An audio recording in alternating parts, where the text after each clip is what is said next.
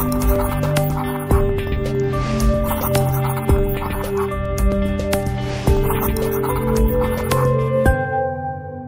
Morning നമ്മൾ ഇന്നത്തെ class chi square ടെസ്റ്റിനെ കുറിച്ചാണ്. കൈ സ്ക്വയർ ടെസ്റ്റ് എങ്ങനെ ചെയ്യാം? അതിന്റെ യൂസസ് എന്തൊക്കെയാണ്? അതിന്റെ പ്രോബ്ലം എങ്ങനെ സോൾവ് ചെയ്യാം? എന്നതിനെ കുറിച്ചാണ് ഇന്നത്തെ ക്ലാസ് എടുക്കാൻ പോകുന്നത്. കൈ സ്ക്വയർ ടെസ്റ്റ് പുതിയൊരു ഭാഗമാണ് chi square test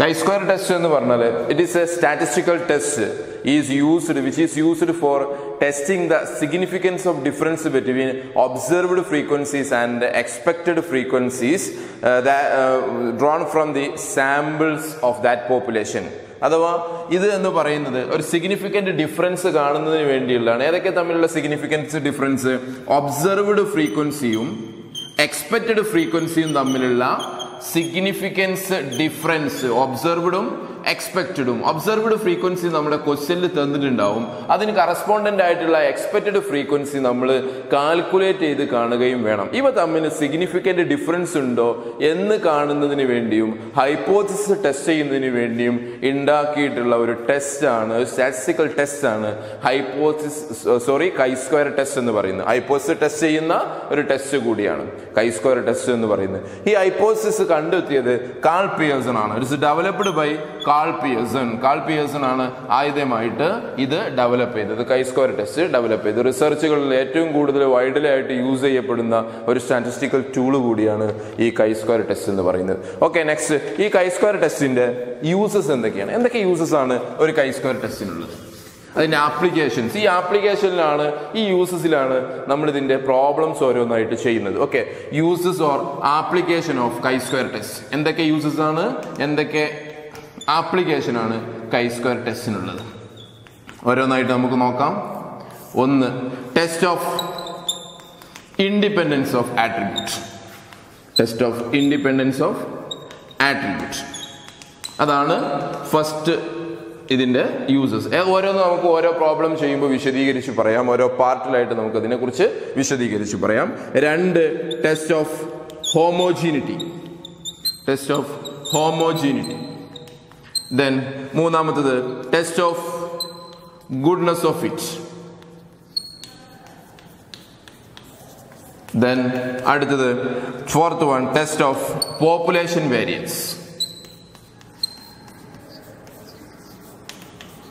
test of population variance ഇത്രയും ഉപയോഗങ്ങളാണ് ഇത്രയും യൂസസ് ആണ് chi square ടെസ്റ്റിനുള്ളത് test of independence of attribute test of homogeneity test of goodness of it test of population variance ഇത് ഓരോന്നും നമ്മൾ വിശദമായിട്ട് പഠിക്കാൻ വേണ്ടി ഓരോ ഭാഗത്തായിട്ട് വിശദമായിട്ട് പഠിക്കാൻ വേണ്ടി പോവുകയാണ്. ഓരോന്നിലും പ്രോബ്ലം ചെയ്യേണ്ടതിന്റെ ആവശ്യകതയുണ്ട്. എങ്ങനെയാണ് ഓരോ സമയത്തും പ്രോബ്ലം ചെയ്യാന്നതിനെ കുറിച്ച് നമുക്ക് പഠിക്കേണ്ടത്. അപ്പോൾ നമുക്ക് അതിന്റെ ആദ്യത്തെ യൂസിലേക്ക് പോവാം.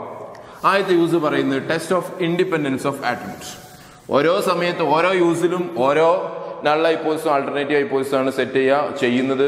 ഓരോരോ രീതിയിലാണ് അത് എങ്ങനെയാണ് എന്നുള്ളത് നമുക്ക് പഠിക്കാൻ പോവാം. ഓക്കെ അടുത്ത first one test of independence of attribute എന്താണിത്?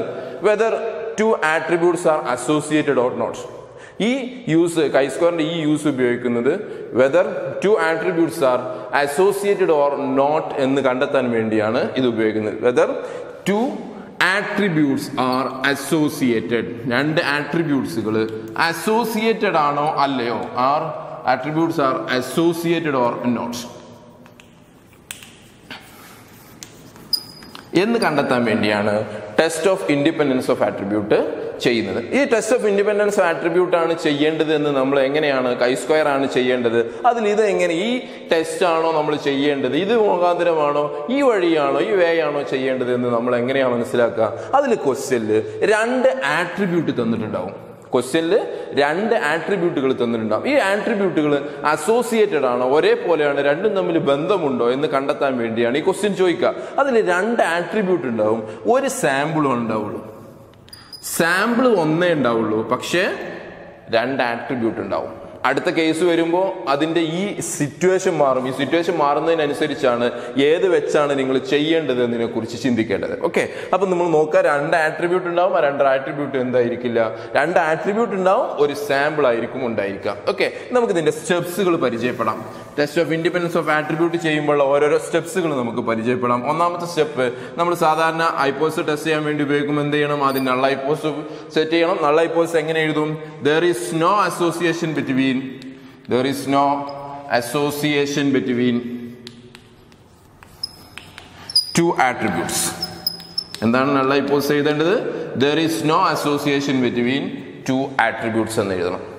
രണ്ട് ആട്രിബ്യൂട്ടും തമ്മിൽ ഒരു ബന്ധവുമില്ല എന്ന് എഴുതണം. ഇനി അതിന്റെ ഒപ്പം തന്നെ ആൾട്ടർനേറ്റീവ് ഐപ്പോസ് എന്ത് എഴുതണം? There is an association between two attribute എന്ന് എഴുതണം. There is an association association ഉണ്ട്. ബന്ധമുണ്ട്. രണ്ടും തമ്മിൽ അസോസിയേറ്റഡ് ആണ് എന്ന് എഴുതണം. There is an association between two attributes എന്ന് എഴുതണം. അതാണ് ആൾട്ടർനേറ്റീവ് ഐപ്പോസ് ചെയ്തേണ്ടത് ശ്രദ്ധിക്കുക ഈ കേസിൽ നൾ ഐപ്പോസ് എഴുതുമ്പോൾ രണ്ട് ആട്രിബ്യൂട്ടും തമ്മിൽ ബന്ധമില്ല എന്ന് എഴുതണം. ദെൻ ആൾട്ടർനേറ്റീവ് ഐപ്പോസ് എഴുതുമ്പോൾ രണ്ടും തമ്മിൽ ബന്ധമുണ്ട് എന്ന് എഴുതണം. ഓക്കെ ദെൻ രണ്ടാമത്തെ സ്റ്റെപ്പിൽ നിങ്ങൾ എഴുതേണ്ടത് നൾ ഐപ്പോസ് എഴുതി ടെസ്റ്റ് സ്റ്റാറ്റിസ്റ്റിക്സ് എഴുതണം. ടെസ്റ്റ് സ്റ്റാറ്റിസ്റ്റിക്സ് ഇവിടുത്തെ ടെസ്റ്റ് സ്റ്റാറ്റിസ്റ്റിക്സ് ആരാണ്? ആരാണ്? സ്റ്റാറ്റിസ്റ്റിക്സ് ആരാണ്? കൈ സ്ക്വയർ ആണ്. കൈ സ്ക്വയർ ചെയ്യാനുള്ള equation sigma O minus E whole square divided by E എന്നാണ്. Sigma O minus E whole square divide by E എന്നാണ് ഇക്വേഷൻ സിഗ്മ എന്ന് പറഞ്ഞാൽ total O minus E whole square divide by E എന്നാണ്. O എന്ന് പറഞ്ഞാൽ observed frequency observed frequency ക്വസ്റ്റ്യനിൽ തന്നിട്ടുണ്ടാവും. പിന്നെ ഉള്ളത് എക്സ്പെക്റ്റഡ് ഫ്രീക്വൻസിയാണ് ഈ എക്സ്പെക്റ്റഡ് ഫ്രീക്വൻസി നിങ്ങൾ കണ്ടെത്തേണ്ടതുണ്ട്. അതെങ്ങനെ കണ്ടെത്തണം എന്നുള്ളതാണ് ചെയ്യേണ്ടത്. ഓക്കെ ദെൻ മൂന്നാമത്തെ സ്റ്റെപ്പ് നിങ്ങൾ ഡിഗ്രി ഓഫ് ഫ്രീഡം എടുക്കുക. Degree of freedom R minus one into C minus one എന്നാണ്. Degree of freedom R minus one into C minus ആറ് എന്ന് പറഞ്ഞാൽ റോ ആണ്. നമ്പർ ഓഫ് റോസ് ആണ് ആർ എന്ന് പറഞ്ഞാൽ. സി എന്ന് പറഞ്ഞാൽ നമ്പർ ഓഫ് കോളംസ് ആണ്. ക്വസ്റ്റ്യനിൽ എത്ര റോ തന്നിട്ടുണ്ട്? എത്ര കോളം തന്നിട്ടുണ്ട്? ടോട്ടൽ എത്ര റോ എത്ര കോളം അതാണ് ഡിഗ്രി ഓഫ് ഫ്രീഡം ദെൻ നാലാമത്തെ സ്റ്റെപ്പ് ലെവൽ ഓഫ് സിഗ്നിഫിക്കൻസ് എടുക്കുക. ലെവൽ ഓഫ് സിഗ്നിഫിക്കൻസ് നമുക്കറിയാം ക്വസ്റ്റ്യനിൽ ഫൈവ് പെർസെന്റേജ് തന്നിട്ടുണ്ടെങ്കിൽ ഫൈവ് പെർസെന്റേജ് എടുക്കുക. വൺ പെർസെന്റേജ് ആണെങ്കിൽ വൺ പെർസെന്റേജ് എടുക്കുക. ക്വസ്റ്റ്യനിൽ അതിനെക്കുറിച്ച് പറയുന്നില്ല എന്നുണ്ടെങ്കിൽ എന്ത് ചെയ്യുക? ഫൈവ് പെർസെന്റേജ് എടുക്കുക. ദെൻ ടാബിൾ വാല്യൂ എടുക്കുക. അഞ്ചാമത്തെ സ്റ്റെപ്പ് ടാബിൾ വാല്യൂ എടുക്കുക. ആറാമത്തെ സ്റ്റെപ്പ് നിങ്ങൾക്കറിയാം എന്താണ്? ടേക്ക് ഡിസിഷൻ തീരുമാനം എടുക്കുക. ടാബിൾ വാല്യൂവിന്റെയും ചെയ്ത വാല്യൂവിന്റെയും തമ്മിൽ അടിസ്ഥാനമാക്കി തീരുമാനം എടുക്കുക. എന്താണ് തീരുമാനം? രണ്ട് തീരുമാനം ഉള്ളത്. ഒന്നുകിൽ നൾ ഇപ്പോൾ ആക്സെപ്റ്റ് ചെയ്യാം അല്ലെങ്കിൽ നൾ പോസ് എന്ത് ചെയ്യുക? റിജക്റ്റ് ചെയ്യുക. എപ്പോഴാണ് നൾ പോസ് ആക്സെപ്റ്റ് ചെയ്യുക? നമ്മൾ പഠിച്ചിട്ടുണ്ട്. എല്ലാ ഇപ്പോഴും ചെയ്യണം അതുപോലെ തന്നെയാണ് ഇവിടെയും ചെയ്യേണ്ടത്. നൾ പോസ് ആക്സെപ്റ്റ് ചെയ്യേണ്ടത് എപ്പോഴാണ്? കൈ സ്ക്വയറിന്റെ വാല്യൂ ചെറുതും ടാബിൾ വാല്യൂ വലുതും ആകുമ്പോഴാണ് നമ്മൾ ആക്സെപ്റ്റ് ചെയ്യേണ്ടത്. എപ്പോഴാണ് റിജക്റ്റ് ചെയ്യേണ്ടത്? കൈ സ്ക്വയറിന്റെ വാല്യൂ വലുതും ദെൻ ടാബിൾ വാല്യൂ ചെറുതും ആകുമ്പോഴാണ് നിങ്ങൾ റിജക്റ്റ് ചെയ്യേണ്ടത്. അതിനനുസരിച്ച് ക്വസ്റ്റ്യൻ എന്താണോ ചോദിച്ചിട്ടുള്ളത് തീരുമാനം പറയാം. നോക്കുക നൾ ഐപ്പോസ് സെറ്റ് ചെയ്യുക. സെക്കൻഡ് സ്റ്റെപ്പ് കൈ സ്ക്വയർ ചെയ്യുക. Third step degree of freedom എടുക്കുക. Fourth step level of significance എടുക്കുക. Fifth step table value calculate ചെയ്യുക. ആറാമത്തെ സ്റ്റെപ്പ് അതിനെക്കുറിച്ച് ഡിസിഷൻ എടുക്കുക. ഇനി നമുക്ക് ഇതുമായി ബന്ധപ്പെട്ട ഒരു പ്രോബ്ലം നോക്കാം. ആ പ്രോബ്ലം എങ്ങനെയാണ് ചെയ്യുക എന്നുള്ളതിലേക്ക് പോവാം. അതെങ്ങനെയാണ് കൈ സ്ക്വയർ ടെസ്റ്റ് ആണെന്ന് മനസ്സിലാക്കുക? എങ്ങനെയാണത്? പിന്നെ അതിന്റെ നൾ ഇപ്പോസ് സെറ്റ് ചെയ്യുക. എങ്ങനെയാണ് അത് ചെയ്യുക എന്നുള്ള കാര്യത്തിലേക്ക് നമുക്ക് മൂവ് ചെയ്യാം. അപ്പോൾ നമ്മൾ നമ്മളിവിടെ ഒരു ക്വസ്റ്റ്യൻ എഴുതിയിട്ടുണ്ട്. ക്വസ്റ്റ്യനിലേക്ക് നോക്കാം. ഇത് മെട്രിക്സ് രൂപത്തിലാണ് ക്വസ്റ്റ്യൻ എപ്പോഴും ഈ ഈ ഇത് ആട്രിബ്യൂട്ട് ചെയ്യാനുള്ള ക്വസ്റ്റ്യനും പിന്നെ അത് കഴിഞ്ഞിട്ടുള്ള രണ്ടാമത്തെ യൂസ് ആയിട്ടുള്ള ഹോമോജിനിറ്റി ടെസ്റ്റ് ചെയ്യാനുള്ള ക്വസ്റ്റ്യനൊക്കെ നമുക്ക് തന്നിട്ടുണ്ടാവുക മെട്രിക്സിന്റെ രൂപത്തിലാണ്. അല്ലെങ്കിൽ ക്വസ്റ്റ്യൻ പാര പിന്നെ പാരഗ്രാഫായിട്ട് തന്നിട്ടുണ്ട്. ആ പാരഗ്രാഫിന് നമ്മൾ മെട്രിക്സ് രൂപത്തിലാക്കുകയും വേണ്ടി വരും. ഓക്കെ അപ്പോൾ നമ്മളിത് ശ്രദ്ധിക്കാം. ക്വസ്റ്റ്യൻ നോക്കുക. Test whether son's eye colour and father's eye colour are associated കുട്ടികളുടെ കണ്ണിന്റെ കളറും അച്ഛന്മാരുടെ കണ്ണിന്റെ കളറും തമ്മിൽ അസോസിയേഷൻ ഉണ്ടോ ഇല്ലയോ എന്ന് ടെസ്റ്റ് ചെയ്യാനാണ് ചോദ്യം. റിസർച്ചർ കളക്ട് ചെയ്ത ഡാറ്റ ഇവിടെ ഉണ്ട്. ഫാദേഴ്സിന്റെ ഐ കളർ ലൈറ്റ് ആയവരുടെ എണ്ണം തന്നിട്ടുണ്ട്. നോട്ട് ലൈറ്റ് ആയവരുടെ എണ്ണം തന്നിട്ടുണ്ട്. സണ്ണിന്റെ ഐ കളർ അതേപോലെ ലൈറ്റ് ആയവരുടെ എണ്ണം തന്നിട്ടുണ്ട്. നോട്ട് ലൈറ്റ് ആയ ആളുകളുടെയും എണ്ണം തന്നിട്ടുണ്ട്. ഇതാണ് നമുക്ക് ക്വസ്റ്റ്യൻ ഇതെങ്ങനെയാണ് ചെയ്യാം? ഇതെങ്ങനെയാണ് കൈ സ്ക്വയറിന്റെ ഇൻഡിപെൻഡൻസ് ഓഫ് ആട്രിബ്യൂട്ട് ആണ് എന്ന് മനസ്സിലാക്കാം. മെട്രിക്സ് ആണ്. സ്വാഭാവികം കുട്ടികൾക്ക് എളുപ്പത്തിൽ മനസ്സിലാക്കാം. മെട്രിക്സിലാണ് ക്വസ്റ്റ്യൻ തന്നിട്ടുള്ളത് നോക്കിയാൽ അപ്പൊ ചെയ്യേണ്ടത് എന്ത് തന്നെയാണ് കൈ സ്ക്വയർ ആയിരിക്കും. ഇത് ഇൻഡിപെൻഡൻസ് ഓഫ് ആട്രിബ്യൂട്ട് എന്നാണ്. എങ്ങനെയാ ചെയ്യുക ഇൻഡിപെൻഡൻസ് ഓഫ് ആട്രിബ്യൂട്ട് ഒറ്റ സാമ്പിൾ തന്നിട്ടുണ്ടാവുള്ളൂ. ഇത് ഒറ്റ സാമ്പിളാണ് സണ്ണിന്റെയും ഫാദേഴ്സിന്റെ ഐ കളേഴ്സ് കളക്ട് ചെയ്ത് ഒറ്റ സാമ്പിളിൽ നിന്നാണ് ഓക്കെ ഒറ്റ സാമ്പിൾ ആണിത്. പക്ഷേ ഇതിന് ഒറ്റ രണ്ട് ആട്രിബ്യൂട്ട് ഉണ്ട്. ഏതൊക്കെയാ? ഫാദേഴ്സിന്റെ ഐ കളറിൽ ലൈറ്റും നോട്ട് ലൈറ്റും സണ്ണിന്റെ ഐ കളർ ലൈറ്റും നോട്ട് ലൈറ്റും ഉണ്ട്. ഫാദേഴ്സിന്റെ സണ്ണിന്റെ ഐ കളർ ഫാദേഴ്സിന്റെ ഐ കളർ രണ്ട് ആട്രിബ്യൂട്ടുകളുണ്ട് ഓക്കെ രണ്ട് ക്യാരക്ടറിക്സ് അവിടെ തന്നിട്ടുണ്ട്. അപ്പോൾ നമുക്ക് ചെയ്യാം എങ്ങനെ ചെയ്യുന്നതെന്ന് നോക്കാം. അപ്പോൾ ആദ്യം നമ്മൾ ഫസ്റ്റ് സ്റ്റെപ്പിൽ ചെയ്യേണ്ടത് എന്താണ്?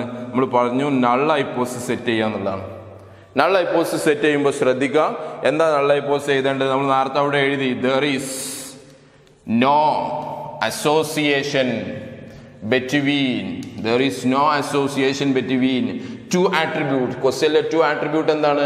ഫാദേഴ്സിന്റെ ഐ കളറും സണ്ണിന്റെ ഐ കളർ അപ്പൊ നമ്മൾ എഴുതുക there is no association between father's eye colour and son eye colour and son's eye colour മക്കളുടെ കണ്ണിന്റെ കളറും അച്ഛന്മാരുടെ കണ്ണിന്റെ കളറും തമ്മിൽ എന്തില്ല?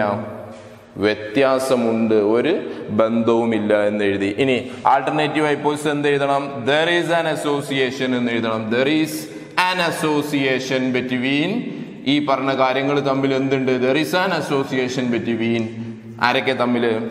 Father's eye colour and son eye colour ഫാദേഴ്സിന്റെ eye കളറും സണ്ണിന്റെ ഐ കളറും തമ്മിൽ എന്തുണ്ട്? ബന്ധമുണ്ട് എന്ന് എഴുതണം. അപ്പൊ നമ്മൾ ഫസ്റ്റ് സ്റ്റെപ്പ് പിന്നിട്ടു. രണ്ടാമത്തെ സ്റ്റെപ്പിൽ നമ്മൾ പറഞ്ഞിരുന്നത് എന്താ? കൈ സ്ക്വയർ ചെയ്യണം ടെസ്റ്റ് സ്റ്റാറ്റിസ്റ്റിക്സ് ചെയ്യണം എന്നാ പറഞ്ഞത്. ടെസ്റ്റ് സ്റ്റാറ്റിസ്റ്റിക്സ് ചെയ്യണമെങ്കിൽ കൈ സ്ക്വയർ ചെയ്യണം എന്നുണ്ടെങ്കിൽ അതിന്റെ ഇക്വേഷൻ നമുക്കറിയാം. Sigma O minus E whole square divided by E. ഒക്കെ ടോട്ടൽ എന്നുള്ള നിലക്കാണ് O minus C whole square divide by E എന്ന് പറയുന്നത്. ഓക്കെ ഇതിൽ ഈ ക്വസ്റ്റ്യനിൽ തന്നിരിക്കുന്ന മുപ്പത്തൊന്ന് one eighty five four sixty nine one three one five ഈ ഇതാണ് എന്ത്? ഒബ്സർവ്ഡ് ഫ്രീക്വൻസി ഈ തന്നിരിക്കുന്ന ഇൻഡിവിജ്വൽ ആണ്. ആ ഇൻഡിവിജ്വൽ ഒബ്സർവേഷൻ ആണ് ഒബ്സർവ്ഡ് ഫ്രീക്വൻസി ഇനി നമുക്ക് അതിന് കറസ്പോണ്ടന്റ് ആയിട്ടുള്ള എന്ത് ചെയ്യണം? എക്സ്പെക്റ്റഡ് ഫ്രീക്വൻസി കാൽക്കുലേറ്റ് ചെയ്യണം. അപ്പോൾ നമുക്ക് calculation of calculation of calculation of expected frequency expected frequency നമുക്ക് കാൽക്കുലേറ്റ് ചെയ്യാം. കാൽക്കുലേറ്റ് ചെയ്യാനുള്ള ഇക്വേഷൻ ആണ് നമ്മൾ പറയാൻ പോകുന്നത്. ഈ ഈക്വൽ ടു എക്സ്പെക്റ്റഡ് ഫ്രീക്വൻസി കാണാനുള്ള equation row total into column total divided by total row total റോന്റെ total into കോളത്തിന്റെ ടോട്ടൽ ഡിവൈഡ് ബൈ ടോട്ടൽ ചെയ്താൽ നമുക്ക് എന്ത് കിട്ടും? എക്സ്പെക്റ്റഡ് ഫ്രീക്വൻസി കിട്ടും. നമുക്ക് ഈ ഡാറ്റ മാത്രം എടുത്ത് എഴുതാം. ഡാറ്റ മാത്രം മതി. നമ്മളെ കോളത്തിന്റെ എണ്ണ എത്ര? റോന്റെ എണ്ണ എത്ര ഡിഗ്രി ഓഫ് ഫ്രീഡം ചെയ്യുമ്പോൾ കാണണം. അപ്പോൾ കോളം എന്ന് പറഞ്ഞാൽ എന്താണ്? കോളം എന്ന് പറഞ്ഞാൽ ഇങ്ങനെ വരക്കുന്നതിനാണ് നമ്മൾ കോളം എന്ന് പറയാം. റോ എന്ന് പറഞ്ഞാൽ ഇങ്ങനെ വരക്കുന്നതിനാണ്. അപ്പോൾ ഡാറ്റ ഉള്ള എത്ര കോളം ഉണ്ട് റോ ഉണ്ട് എന്നാണ് അർത്ഥം. ഡാറ്റ ഉള്ള റോ കോളം രണ്ടെണ്ണം. ഈ രണ്ടും. റോ ഉള്ളതും ഇങ്ങനെ രണ്ടെണ്ണമാണ് ഓക്കെ ഒന്ന് രണ്ട് കോളവും രണ്ട്. ഓക്കെ അപ്പൊ നമുക്ക് ആ ഡാറ്റ മാത്രം എടുത്ത് എഴുതാം. ഏതൊക്കെയാ? Thirty one four sixty nine one eighty five one thousand three hundred and fifteen എന്ന് എഴുതുക. എന്നിട്ട് നമുക്കതിനെ ടോട്ടൽ ചെയ്യാം. കോളം വെയ്സിലും ടോട്ടൽ ചെയ്യാം. റോ വെയ്സിലും എന്ത് ചെയ്യാം? ടോട്ടൽ ചെയ്യാം. കോളം വെയ്സിലും ടോട്ടൽ ചെയ്യണം. റോ വെയ്സിലും ടോട്ടൽ ചെയ്യണം. ഇത് ടോട്ടലിന്റെ കോളമാണ് ഇവിടെയും ടോട്ടലിന്റെ കോളമാണ് എഴുതുന്നത് ടോട്ടൽ ചെയ്യാം ഓക്കെ. മുപ്പത്തി ഒന്നും നൂറ്റി എൺപത്തി അഞ്ചും തമ്മിൽ കൂട്ടിക്കഴിഞ്ഞാൽ ഇരുന്നൂറ്റി പതിനാറ് എന്ന് കിട്ടും. നാനൂറ്റി അറുപത്തി ഒമ്പതും ആയിരത്തി മുന്നൂറ്റി പതിനഞ്ച് കൂടി കൂട്ടിക്കഴിഞ്ഞാൽ ആയിരത്തി എഴുന്നൂറ്റി എൺപത്തിനാല് എന്ന് കിട്ടും. ഇനി റോ വൈസിലും കൂട്ടാം. മുപ്പത്തൊന്നും നാനൂറ്റി അറുപത്തൊമ്പതും കൂട്ടിയാൽ അഞ്ഞൂറ് എന്ന് കിട്ടും. നൂറ്റി എൺപത്തഞ്ച് ആയിരത്തി മുന്നൂറ്റി പതിനഞ്ച് കൂടി കൂട്ടിയാൽ ആയിരത്തി അഞ്ഞൂറ് എന്ന് കിട്ടും. ഇനി ടോട്ടൽ ചെയ്യാം. ഇങ്ങനെ ടോട്ടൽ ചെയ്താലും ഇങ്ങനെ ടോട്ടൽ ചെയ്താലും ഒന്ന് തന്നെയാണ് കിട്ടുക. ഇങ്ങനെ ടോട്ടൽ ചെയ്താലും രണ്ടായിരം എന്ന് കിട്ടും. ഇങ്ങനെ ടോട്ടൽ ചെയ്താലും രണ്ടായിരം എന്ന് കിട്ടും. അതാണ് ടോട്ടലിന്റെ കോളത്തിൽ എഴുതേണ്ടത്. അപ്പോൾ നമുക്ക് ഇനി എക്സ്പെക്റ്റഡ് ഫ്രീക്വൻസി കാണാം. ഓക്കെ അപ്പോൾ ആദ്യം എക്സ്പെക്റ്റഡ് ഫ്രീക്വൻസി പിന്നെ ചെയ്യാം.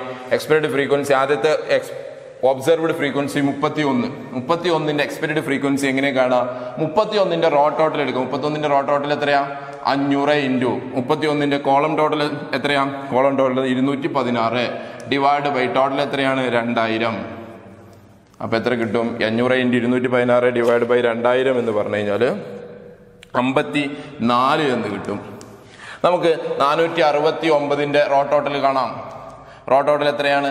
നാനൂറ്റി അറുപത്തി ഒമ്പതിന്റെ എക്സ്പെക്റ്റഡ് ഫ്രീക്വൻസി കാണുമ്പോൾ അതിന്റെ raw total അഞ്ഞൂറാണ്.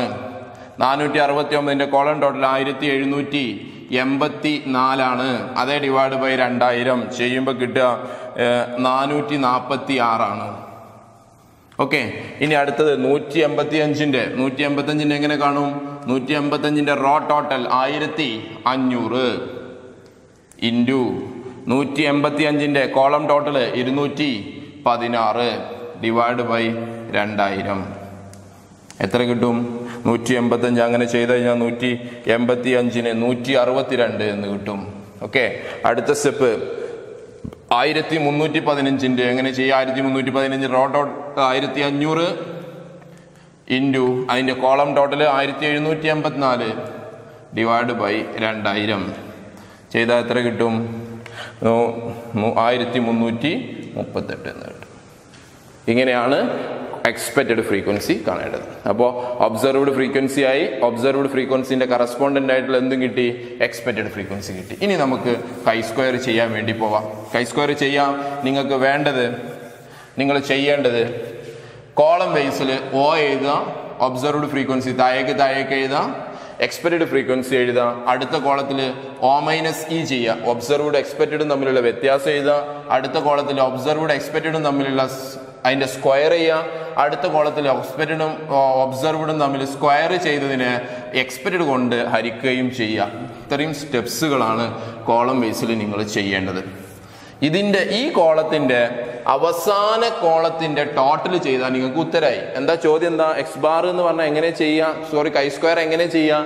Sigma O minus C whole square divide by ആ O minus C whole square divide by ഇന്റെ ടോട്ടൽ കോളം ടോട്ടൽ ചെയ്താൽ നമുക്ക് അതിന്റെ ഉത്തരായി. അപ്പൊ നമുക്ക് ഒബ്സർവ്ഡ് ഫ്രീക്വൻസി ഓരോന്നായിട്ട് എടുത്ത് എഴുതാം.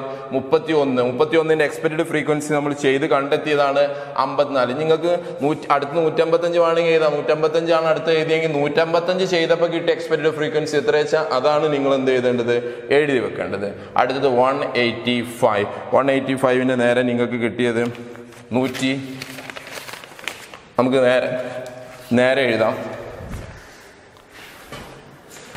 അടുത്തത് മുപ്പത്തൊന്ന് അമ്പത്തിനാല്. നാനൂറ്റി അറുപത്തി ഒമ്പതിന്റെ നേരെ നമുക്ക് കിട്ടിയത് നാനൂറ്റി നാൽപ്പത്തി ആറാണ് നൂറ്റി എൺപത്തി അഞ്ചിന്റെ നേരെ നമുക്ക് കിട്ടിയ നൂറ്റി അമ്പത്തി അഞ്ച് അടുത്ത ഒബ്സർവ്ഡ് ആ ഒബ്സർവിൽ നമുക്ക് കിട്ടിയ നൂറ്റി അറുപത്തി രണ്ടാണ് അടുത്ത എക്സ്പെക്റ്റഡ് ആയിരത്തി ഒബ്സർവ്ഡ് ആയിരത്തി മുന്നൂറ്റി പതിനഞ്ചാണ് അതിന്റെ നേരെ നമുക്ക് കിട്ടിയത് ആയിരത്തി മുന്നൂറ്റി മുപ്പത്തെട്ടാണ് ഇനി അടുത്ത സ്റ്റെപ്പിൽ എന്താ എഴുതേണ്ടത്? ഓയും ഈയും തമ്മിലുള്ള വ്യത്യാസം കാണാം. ഓന്ന് ഈ കുറക്കാം. മുപ്പത്തൊന്നിന്ന് അമ്പത്തിനാല് കുറച്ച. മൈനസ് ഇരുപത്തി മൂന്ന് എന്ന് കിട്ടും. നാനൂറ്റി അറുപത്തി ഒമ്പതിന് നാനൂറ്റി നാൽപ്പത്തി ആറ് കുറച്ച. പ്ലസ് ട്വന്റി ത്രീ എന്ന് കിട്ടും. നൂറ്റി എൺപത്തഞ്ച് നൂറ്റി അറുപത്തിരണ്ട് കുറച്ച. പ്ലസ് ട്വന്റി ത്രീ എന്ന് കിട്ടും. ആയിരത്തി മുന്നൂറ്റി പതിനഞ്ചിന് ആയിരത്തി മുന്നൂറ്റി മുപ്പത്തി എട്ട് കുറച്ച. മൈനസ് ട്വന്റി ത്രീ എന്ന് കിട്ടും. മൈനസ് എഴുതിയില്ല ചില പ്രശ്നമില്ല. കാരണം അടുത്ത സ്റ്റെപ്പിൽ നമ്മൾ എന്ത് ചെയ്യുന്നുണ്ട്? സ്ക്വയർ ചെയ്യുന്നുണ്ട്. സ്ക്വയർ ചെയ്യുന്നതോടുകൂടി മൈനസ് പോവും. ട്വന്റി ത്രീന്റെ സ്ക്വയർ എന്ന് പറയുന്നത് അഞ്ഞൂറ്റി ഇരുപത്തി ഒമ്പതാണ് എല്ലാ സമയവും ഓ മൈനസ് സി ഒരേപോലെ കിട്ടണമെന്നില്ല കേട്ടോ ഈ ക്വസ്റ്റ്യൻ അങ്ങനെ കിട്ടിയെന്നേ ഉള്ളൂ. ദെൻ അടുത്തത് അഞ്ഞൂറ്റി ഇരുപത്തൊമ്പത് എന്ന് കിട്ടും. അടുത്തതും അഞ്ഞൂറ്റി ഇരുപത്തൊമ്പത് എന്ന് കിട്ടും. അടുത്തതും അഞ്ഞൂറ്റി ഇരുപത്തൊമ്പത് എന്ന് കിട്ടും. സ്ക്വയർ ചെയ്യാണ് ഇരുപത്തി മൂന്നിന് എങ്ങനെ? സ്ക്വയർ ചെയ്തു പോയി.